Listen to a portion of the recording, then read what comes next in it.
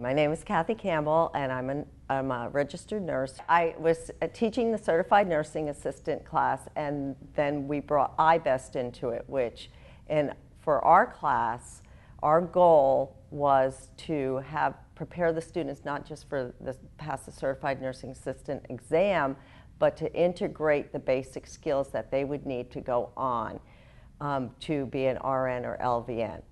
And it would also make them, if they didn't plan on going on, a better CNA, but it was to prepare them for a TEAS test. The TEAS test in our um, nursing programs for the RN and LVN is the test of essential academic skills, and it's a standardized test that encompasses more like the um, SAT test or the California high, California high school exam, has math, it has reading, it has language, and it has a science component to it.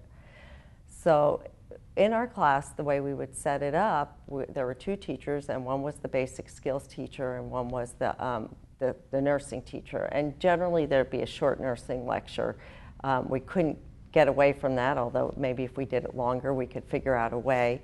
And then we try to break up the class as much as we can. I had nursing skills to teach, basic skills would um, prepare them in the basic skills. We tried to um, integrate it with whatever we were doing.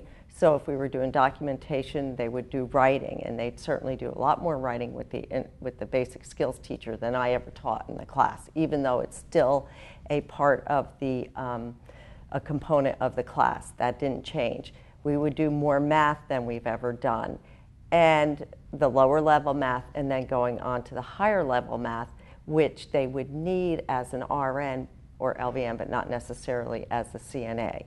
Um, and that would prepare them to be, to prepare them for the TEAS test. What was nice about having the math teacher and the, um, and me in there or the other nursing teacher was we could, why do you need this algebra? And we could just rattle off quick examples that they would have to figure out how many mics per kilo per minute, and they needed algebra to do that. Um, so I think that just validated the need not only to pass the TEAS test, but yes, they may be using this math when they're in those different levels. So I was only teacher for a short while, and I think most vocational or career tech teachers, their background is not teaching.